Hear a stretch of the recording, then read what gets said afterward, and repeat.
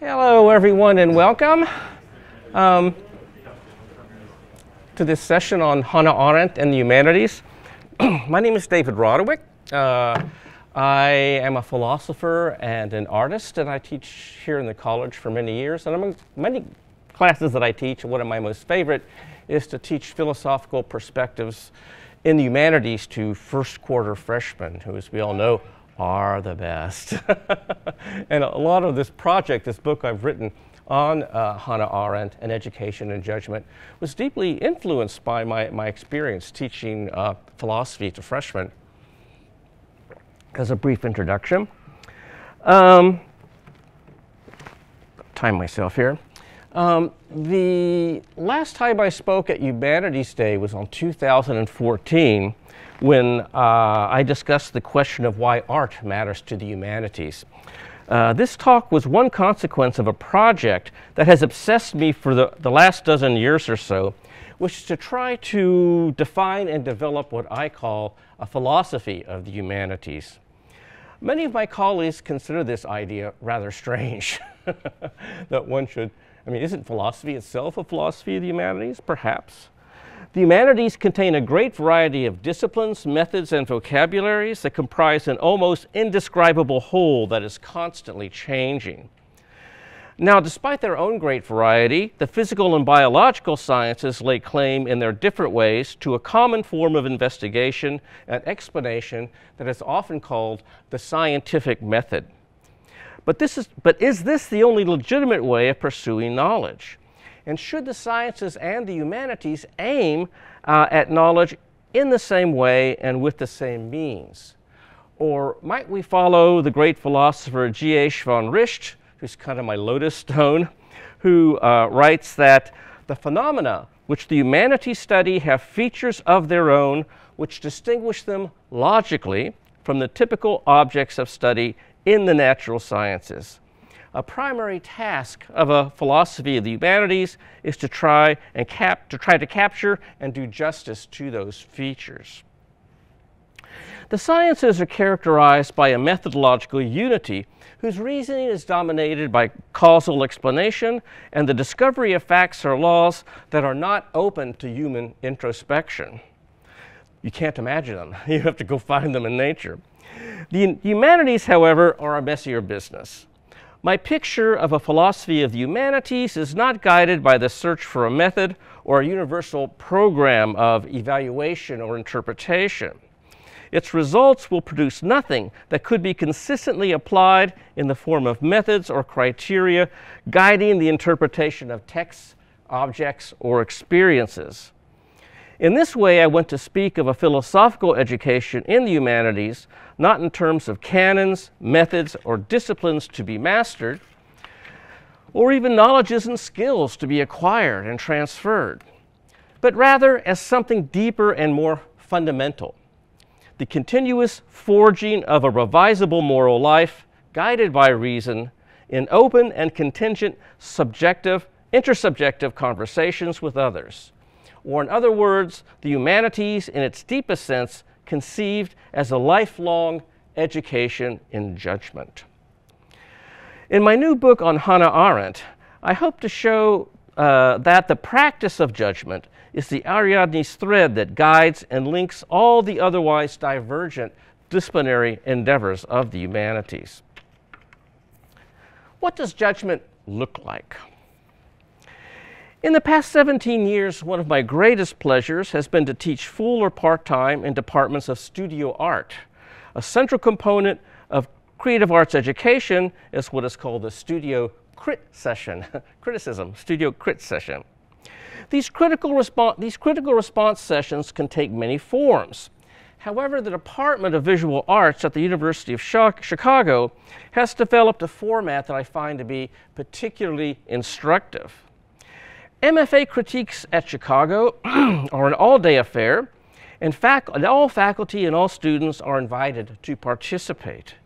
Taking breakfast and lunch together present occasions for collegiality and informal discussion uh, with, inform- with multiple crit sessions taking place in the morning and afternoon. An individual session lasts 45 minutes, and in the first 20 minutes or so, The young artist whose work is being evaluated is usually not allowed to speak.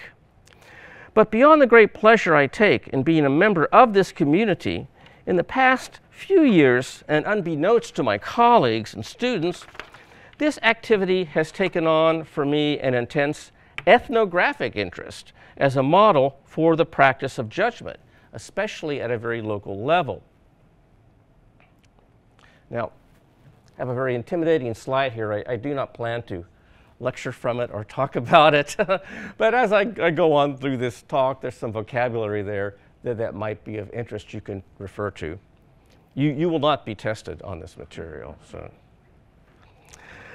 Think then of our community as a kind of polis, a gathering of like minds brought together with a common educational purpose, which disperses again as soon as that purpose is accomplished. This disappearance is not final, however, because the community continues to exist in virtual form, a recurrent possibility ready to be reconvened as need arises. This community is based on qualities of mutual respect and openness to the expressed thoughts and perspectives of others. Everyone is free to express their opinion or not under conditions of equality. These qualities are no doubt important, but what interests me most in the studio critique is the following. We are a perambulatory community and wander from place to place in a directed way to engage with creative works intended to be works of art. Let's say, for example, that a student has created, created a construction in three dimension, three dimensions, something whose viewing requires the mobility of viewers to regard the work from all sides. It may be, on first glance, I take the work to be uninteresting or unfinished. Poor student. but happily, to the extent that the work exists, that it creates and occupies a space of appearance, my perspective is not the, the only one in which it takes on sense and value.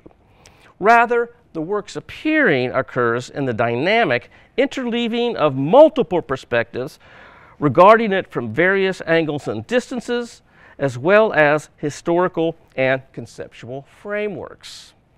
However, these perspectives only become apparent when my collaborators in criticism publicly disclose their opinions and offer them for agreement and disagreement and possible revision.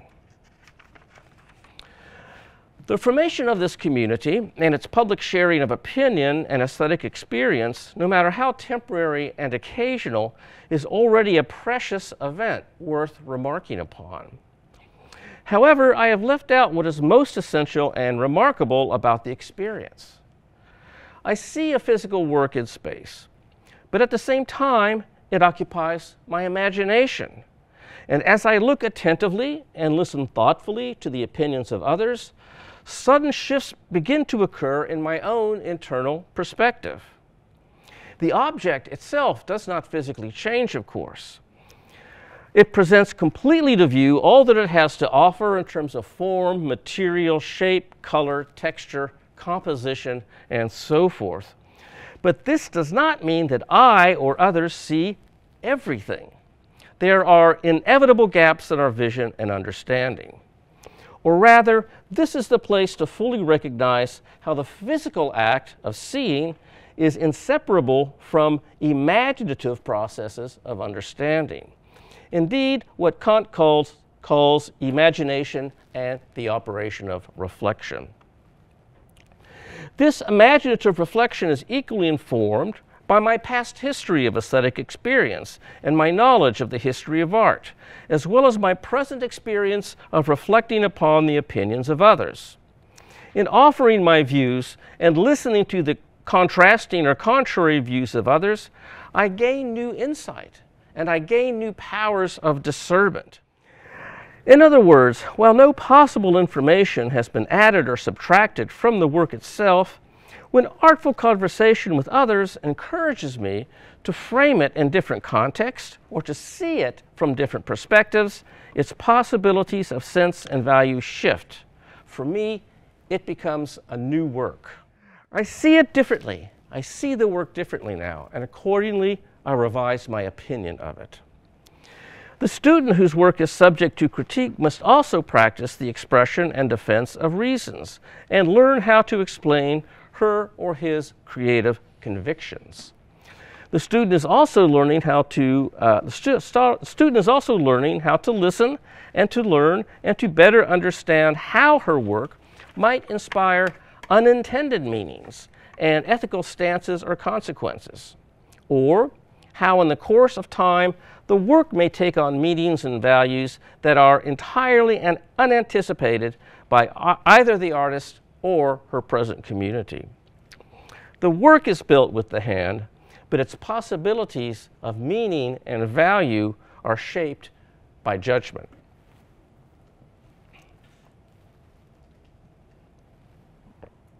In the course of conversation, I and others learn from each other new vocabularies, styles of argument, and frameworks for observing and interpreting.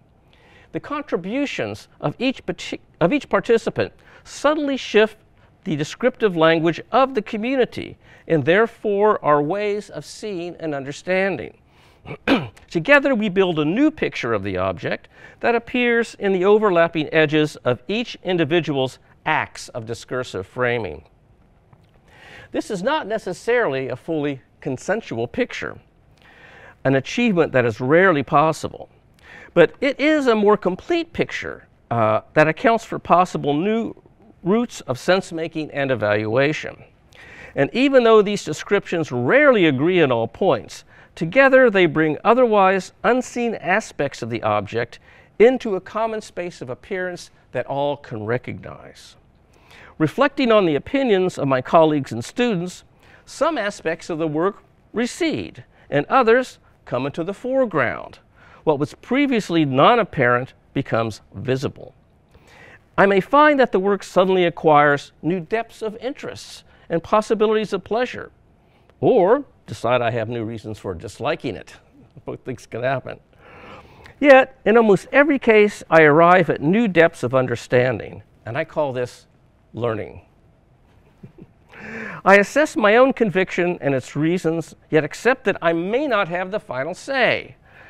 Uh, each and every one of us are offering judgments of this work that include reasons for our opinions and sense of conviction, but no judgment is final.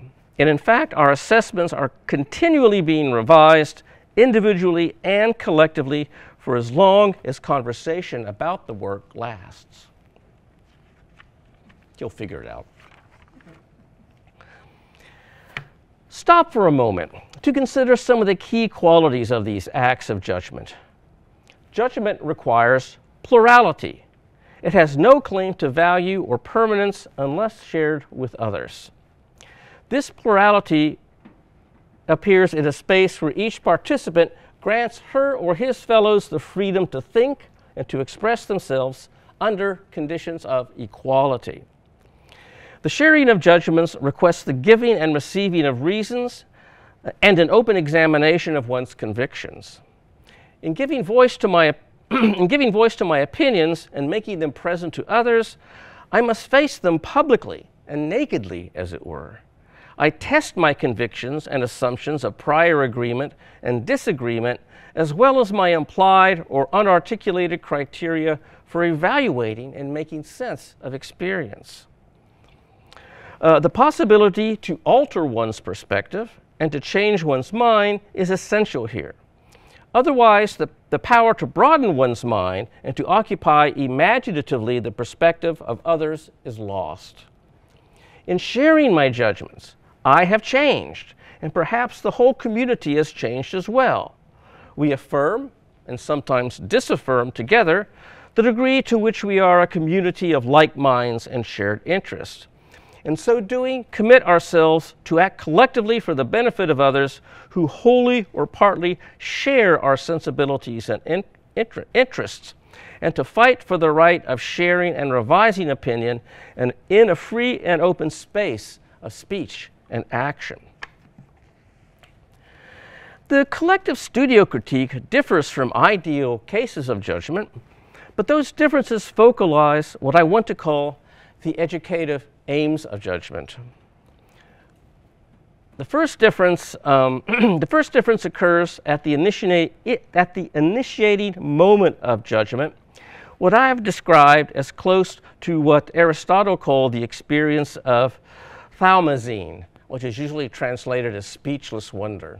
We have all had the experience of being stopped in our tracks by the intensity of a painting, of a passage of fiction, poetry, poetry, music, cinema, or philosophy, or even news of a political event, uh, leading to intensified perception, and then to a state of apperception, which I call looking, listening, or reading while thinking, all the while sorting out what aspects of the work attract my interest, which is discernment. This kind of aesthetic experience often arises in chance encounters, which Kant, in his great book on the powers of judgment, pictures as a singular encounter with a unique object. In contrast, the studio critique involves a pre-constituted, pre-constituted community of teachers and students who have come together in a spirit of care and education. Although it might happen, it is rarely the case that judgments offered in these situations either want or need the universal agreement that most first judgments unreasonably demand. Nevertheless, these judgments are made with sincerity and conviction and follow the need to give voice to the reasons for that conviction and so to test it in a public context. However, in its educative aim, the community solidarity that arises in the sharing of judgments of taste is secondary to another interest, which is to share counsel with the student artist. Some of this advice is certainly practical. Would using another kind of material, altering the composition, reimagining the conditions of display, or constructing on a different scale enhance the perceptual impact of the work? However, the sharing of judges, judgments might also involve important lessons in history, uh, especially in this example, art history. The this knowledge is important for its own sake. In realizing reasons, as it were, of discovering, communicating, and revising them, one also recovers and reviews their history. This is an idea appealed to in Arendt, but for the most part missing in Kant. Judgments of taste do not emerge from individuals ex nihilo. No matter how singular and subjective the judgment, all reasons appeal to criteria, both personal and collective, personal and collective at the same time, that emerge uh, from a more or less common stock of critical experience, such as histories of viewing and experiencing, acquired frameworks and context for interpretation, and evaluation, and learned conceptual inventories. We all carry around these kinds of encyclopedias inside of us. One is testing not only one's judgment and values, but also the relevance and power of this stock of experience. At the same time, these history lessons suggest how the sense of the work can shift by clarifying its evident or unacknowledged family resemblances and its genealogical connections to prior works and art historical styles or movements. This is what education and judgment looks like.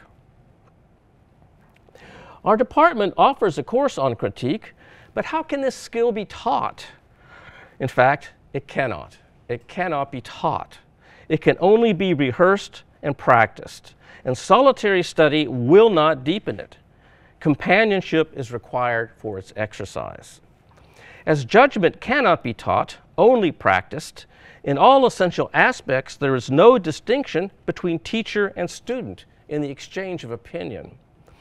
In classes where I have derived the most satisfaction, I have learned together with my students, who almost invariably offer new ideas and context for interpretation and evaluation that I had not yet seen, despite long years of research and learning. Something that we are learning together and sharing beyond the content of any given course are not only, the, are not only ideas, but also examples of judgment.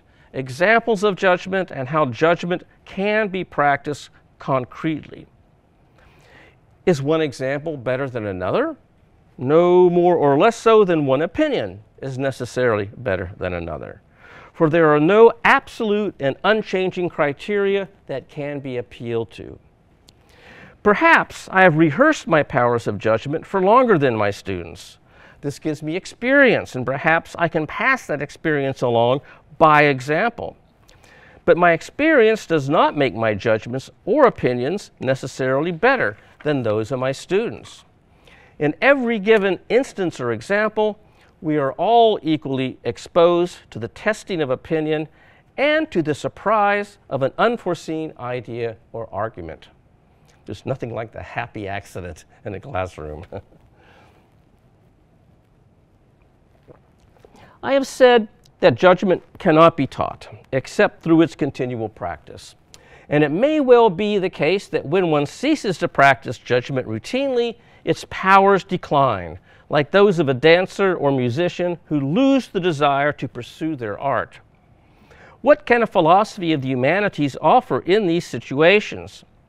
If a primary aim is to proffer an education in judgment, then the first task of philosophy, of its philosophy, would be to investigate critically exemplary instances of judgment, to delineate with perspicuity its activity and operations, which is one of the things I'm trying to work through in this chart. Uh, and this is one task I hope to have begun in my book on Hannah Arendt, Judgment and the Humanities. If our powers of judgment can be strengthened, deepened, broadened, and intensified, then a philosophy of the humanities can diagnose those areas in which our powers of judgment have declined, weakened, or atrophied, and offer directions for their exercise and restoration. This experience is messy and governed by few explicit rules no one is fully aware of engaging in operations of discernment, apperception, insight, imaginative reflection, and acts of revision and self revision as they engage in the free play of judgments, improvisational conversations. Good judgment can be practiced intuitively and thoughtfully without the self consciousness, reflexivity, and introspection necessary to philosophical investigation. Nevertheless, if a philosophy of the humanities can bring these operations into the full light of comprehension and give them conceptual clarity, then perhaps judgment can be practiced with greater care and self attention by teachers and students alike. Introspection is a key strategy here, where the thinker reflexively makes account of her or his experiences and activities when making judgments. The educative aim of a philosophy of the humanities is to understand what we do when deploying the operations of judgment and how this understanding might improve our capacity to discern and describe, to understand and evaluate, and to defend our convictions in ways that enhance our solidarity with others. Whatever progress can be made in human reason will inevitably occur in activities of experimentation or trying out opinions, ideas, and arguments in public situations where failure or embarrassment are standing possibilities.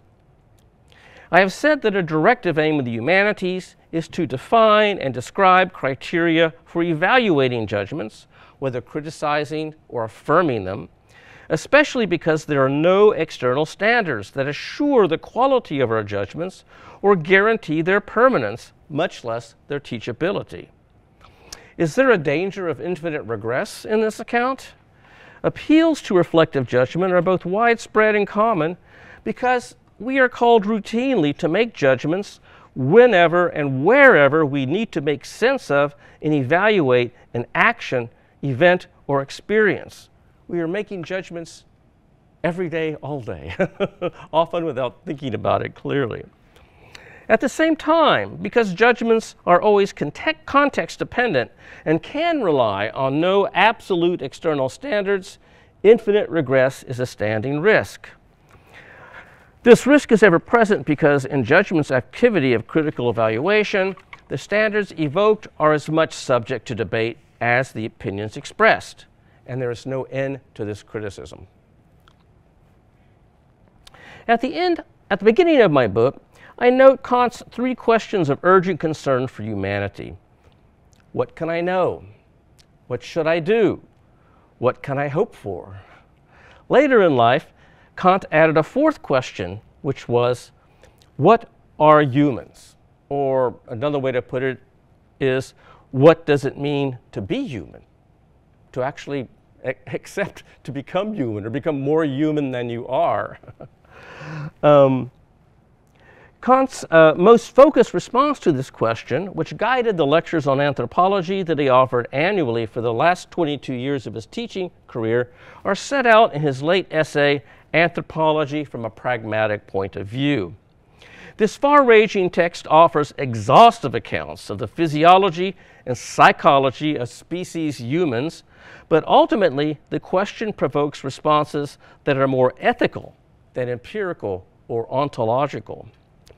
Kant was among the first philosophers to imagine becoming human as a direction in species history.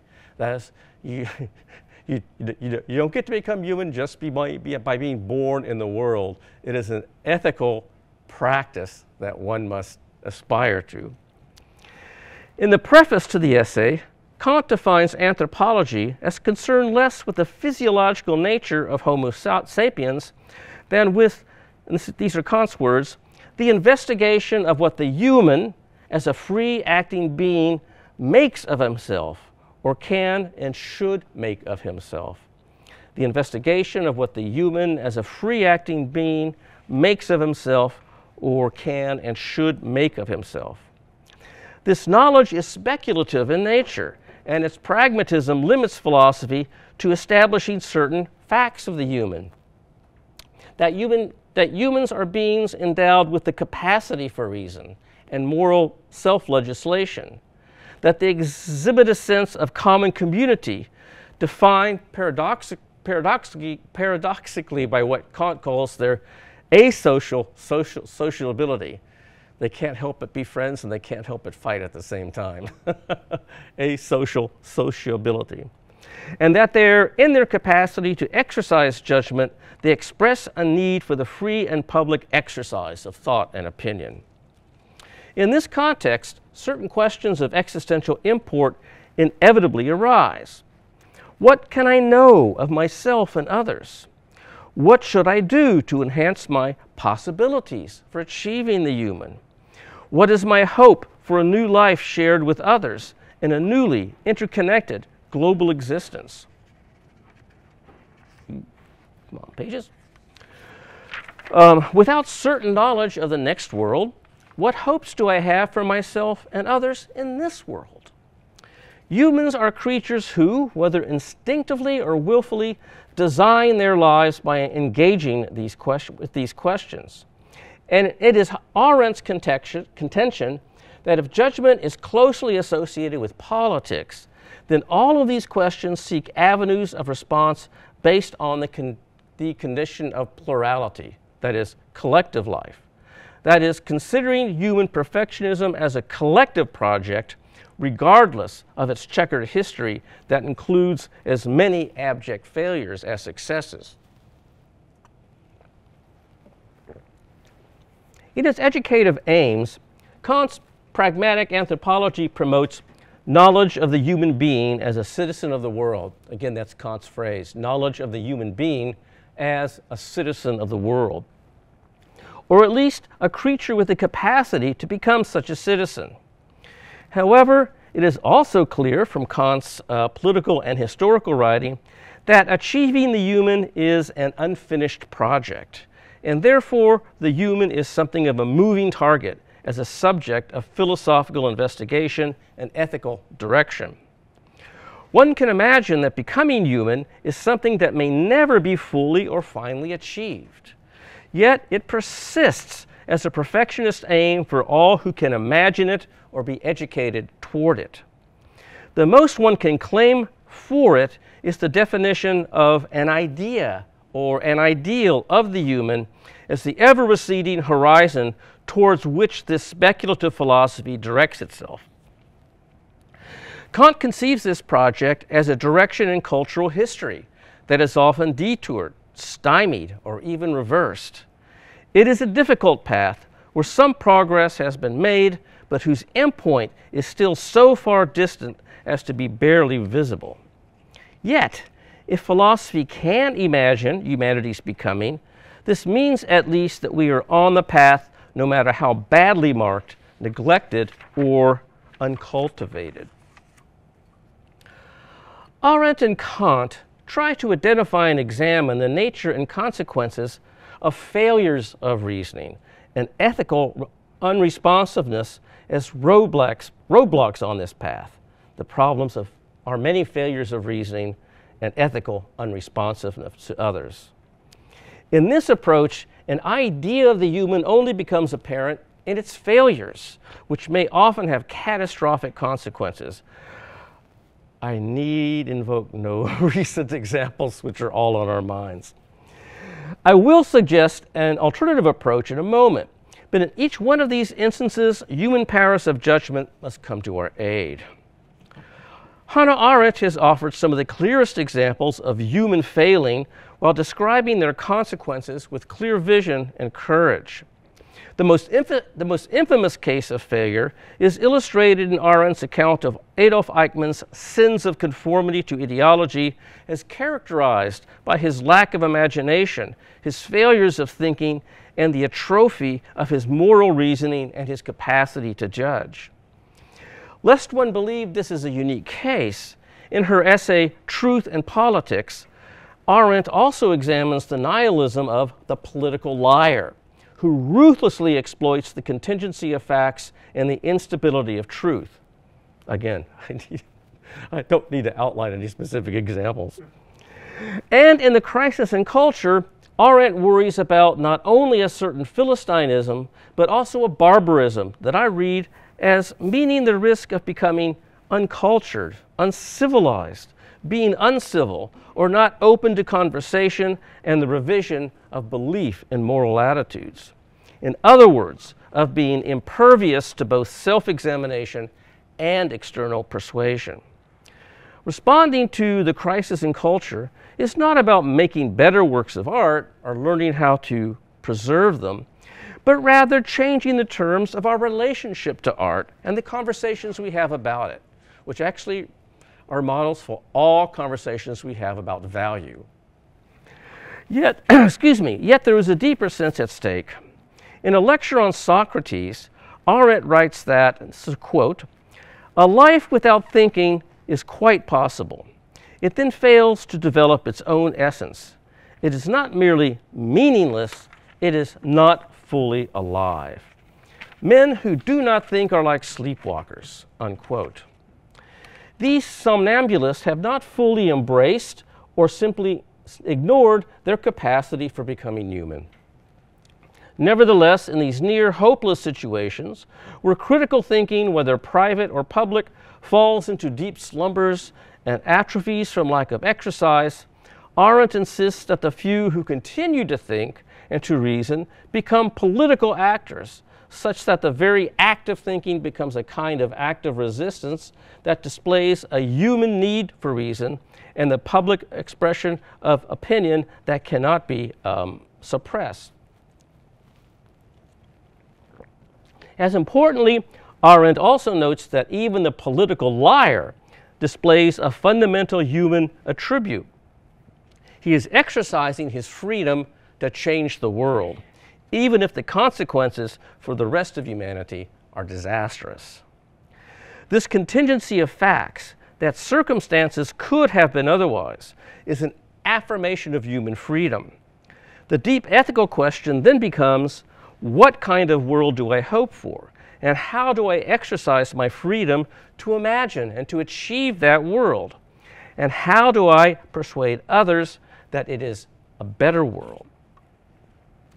I have said, and I'm getting close to the end now, I've said that when teaching in the humanities, I've said that when teaching in the humanities, both teacher and student learn together and share beyond the content of and share beyond the content of any given course examples of judgment and how judgment can be practiced concretely. These this, the important question embedded here is what does exercising judgment educate us to? Every occasion to exercise humanistic reasoning, reasoning, whether inside or outside of the classroom, is an opportunity to practice good judgment in a public context. And to practice judgment with others is to bestow the gift of freedom. In ideal situations, the public practice of judgment is an opportunity to learn how to accept and exercise one's freedom to think and to speak and to feel that freedom in solidarity with others. In this case, the classroom can function as something like a utopian space that hosts a critical community based on generosity, solidarity, and common care. Education does not mean inculcating knowledge or belief, but learning how to judge freely with a capacity for charity and a willingness to alter one's own belief and opinions. One should not ignore that there can be an intense pleasure felt in sharing judgments with others. This pleasure arises in feelings of sociability and solidarity, in the freedom to think and to think differently to be in communication with others, and to persuade and be persuaded by them as a measure of belonging to the community. In such communities of judgment, one does not have to seek complete and total agreement, but rather only feel attuned to the modes of reasoning and patterns of coming to agreement or in disagreeing that excuse me, but rather only feeling attuned to the modes of reasoning and patterns of coming to agreement or in disagreeing that one is speaking and listening on the same terms.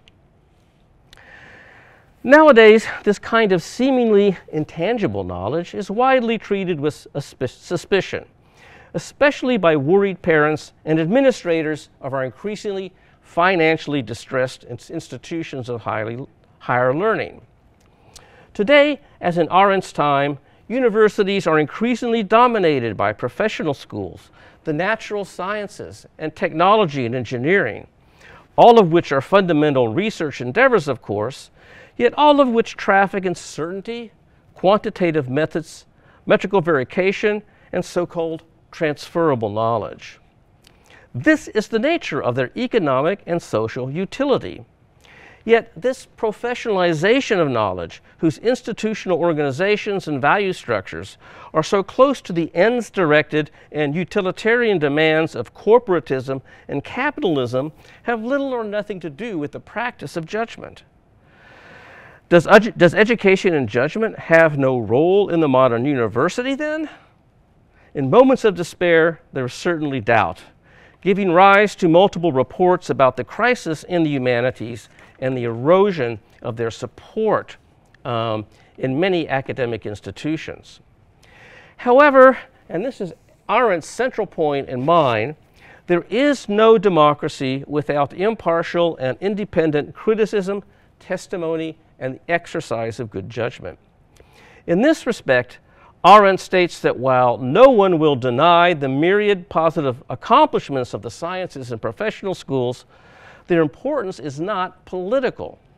Rather, history and the humanities are politically of far greater relevance because their aim is to discern, define, preserve, and interpret factual truth as expressed and transmitted in the documents of culture. For example, Arendt's essay on truth in politics stakes out the position of the citizen witness and historical observer, who must negotiate a place that mediates between the uh, celestial truth of the philosopher, the noisy opinions of the rest of us earthly creatures, and the lies and half truths of politics. The whole argument might be read as Arendt's account of how an education of judgment could serve to enhance one's, uh, one's ability to exercise uh, what Aristotle called phronesis, or political insight which in her interpretation of Aristotle is a kind of practical intelligence in social and political life, connected to, yet distinct from, the solitary theoretical intelligence of philosophy.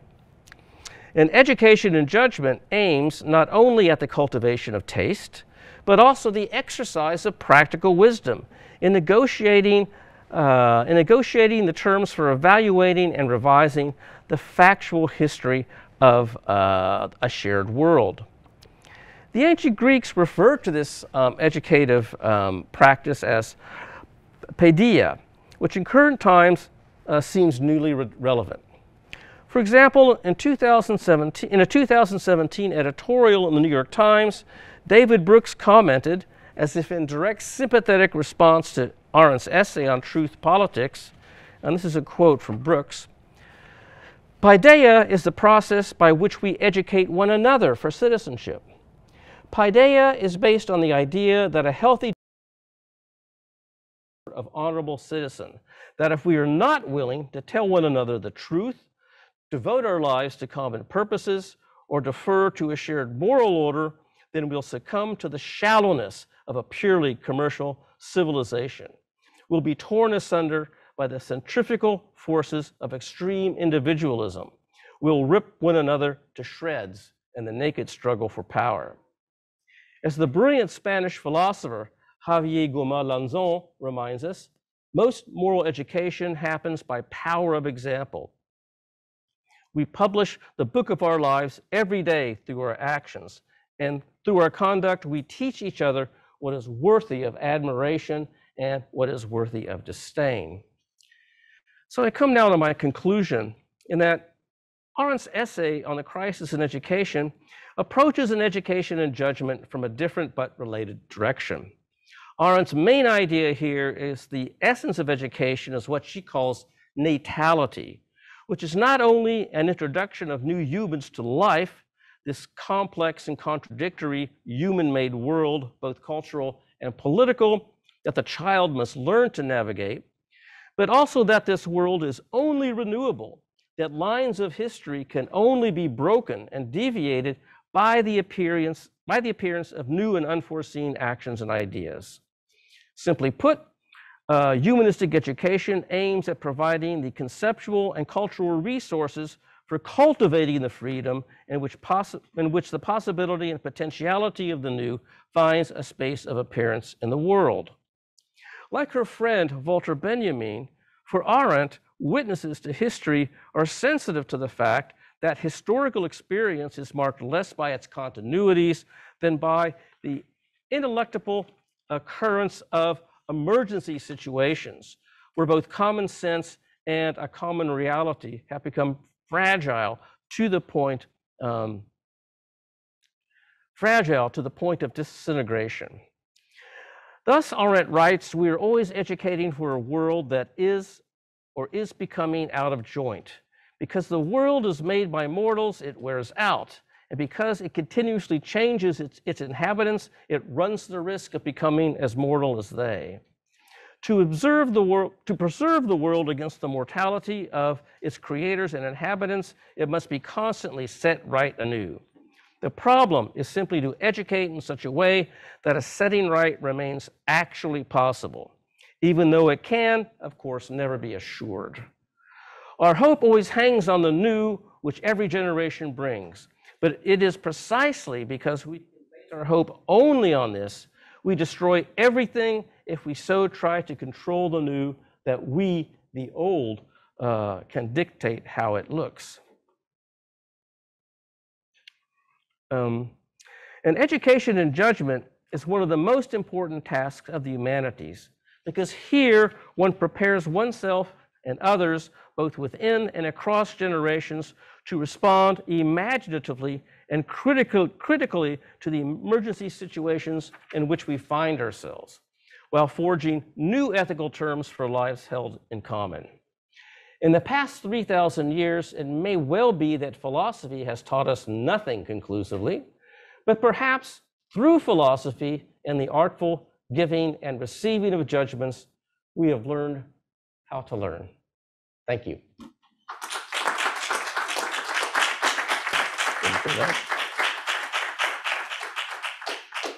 So I am happy to apparently we're going to alternate taking questions from the audience and taking questions from online. Yes, please.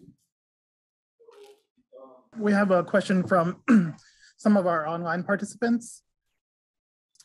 Um, how can we think about a possible connection between racism and judgment as you've described it? Meaning, is it possible to identify one's personal biases and racism when practicing judgment? Or is judgment completely free of racism? I ask this question since our concept of judgment looks to 18th century thinkers like Kant, whose idea of, of universal was based on racial and or white supremacy. Yeah, I mean, one of the beauties of working with Hannah Arendt, which came to me as a, as a great surprise, is her, um, despite her great respect for Kant, um, undermining what it, well, well, two things, undermining two key points that are in Kant's critique of judgment. One of which is that it's somehow unique and individual. Um, uh, responding or, or, responding to perhaps a false sense of universality, but Kant's ideas about judgment are when you first go, whoa, that's beautiful, you want everybody to accept. But of course, Kant is also aware that the first thing that happens is someone standing next to you going, really? and so I, th I, think Arendt has been brilliant to bring out, and I hope I help her bring this out, how what judgment is always leaning to both is always leading to both consensus and dissensus. Now, um, it's funny that this question was asked because apparently there's a big uh, there was a big conference in Berlin recently about what is, is Kant a racist? well, he's got a lot of blind spots. But around the question of racism, what I, I think is most important is for um, I mean, white people and black people have to engage together. And at, at least this is happening to some degree in the Black Lives Matter movement. One has to find a way for a conversation to take place. Um, and the worst thing that can happen is that there's walls built rather than um, finding ways to communicate together. That is such a long, long process between whites and blacks since the time of the civil rights movement in the 60s. Um, and it progresses slowly, but I think it's something very important. I hope that responds to the question. Not quite sure it did. More questions from the audience? I love to talk. yes, please. Concerned with universities being educational systems being dominated by corporate money. And of course, corporations are looking for transferable skills. Mm-hmm. Uh, and th- to me, this is a very frightening situation. Mm-hmm. And, and there's always been an attitude well, people go to college to get good jobs and make money. Yep. And down at the bottom of the ladder is uh, a few oddball people that study philosophy and history. And I, I don't. I don't know whether it's getting worse or not. I have the impression that it is getting worse. Yeah. There is a crisis in our educational system that needs to be addressed. Yeah. When the universities get rid of their history department. Yeah. I mean, this is insane. Is this a university or what the hell is it? Yeah. I mean, this is where I think parents and administrators should actually talk to people in, especially in the um, the new technology industries. Um, that uh, also, I, I, started thinking about this some time ago because my, my niece's husband is a high tech entrepreneur. Um, and he does very well at it. And at the time I was talking to him, I was still teaching at Harvard. And he, he said, What's wrong with these Harvard kids? I said, what be, What's wrong with them? And he said, Well, they, they, they come and they you know, interview for jobs. I almost never hire them. And, he, and I said, Why? He says, They have, they have no capacity for creativity. They, they, they can't think out of the box. They're always, they're always looking to see. He asked me this question What's the right answer to the question? And there is no right answer to the question. You know, my the man just wanted to see how they think, if they could think creatively. And there's only one way.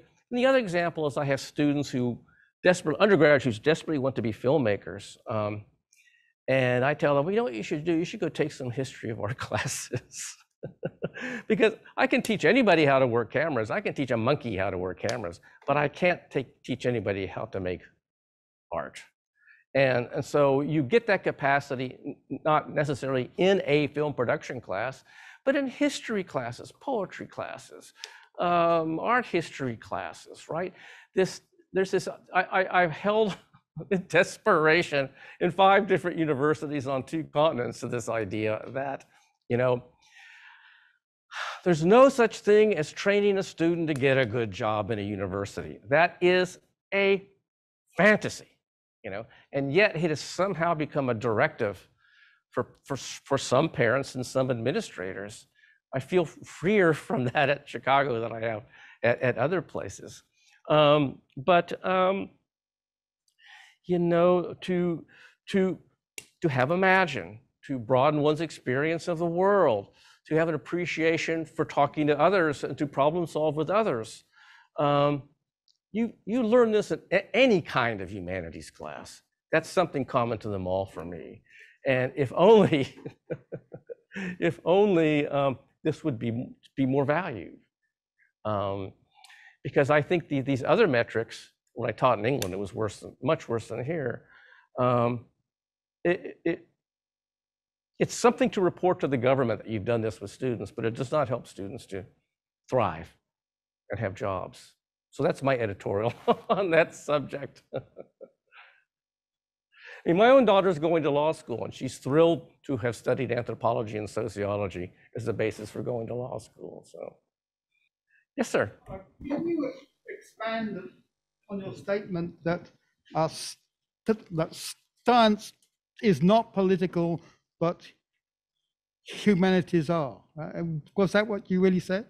Yeah, I mean, what this is um you, you you have to you have to be a true Arendt believer, I think, to really go down that that rabbit path. I mean, in, in point of fact, to the extent that any action impacts upon society, it's going to be political. So, uh, but Arendt has a very specific definition of politics, which comes down to individuals acting in concert uh, with one another to um, uh, achieve um, some kind of transformation, right?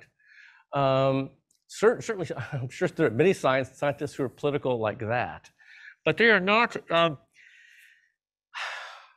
in the, you know, they're, they're not. The difference is is that the, the sciences, which are great, I'm a kind of science nerd myself, but they um, are, are not necessarily practicing individuals in the same um, set of activities that are defined by judgment. And I think that's what I think that's what Arendt means, right? Um, you're, tra- you're you might be the most highly trained uh, chemical biologist in the world, but it, probably won't help you um, organize a demonstration in the same way that some of these other uh, activities might. Um, I think that's part of what she means. Hmm. And also the fact that um, this idea of, that we were talking about in terms of trying to preserve history, right? Um, the sciences have another job to do, thank heaven, since someone like me has got triple Pfizer now. I couldn't have that without science. But, um, but, but the, the, humanities also have the job of pre- preserving our past and our interpretive relationships to our past, which is a, a different kind of research, I guess I would say, than the sciences. Looks like I'm getting thrown out of here. but I certainly thank you all for coming. Um, it was a very enjoyable conversation with me, and um, and uh, if, if, they have a few copies around, my book should be on sale at the co-op. So if you enjoyed it, so thank you all for coming. I appreciate it.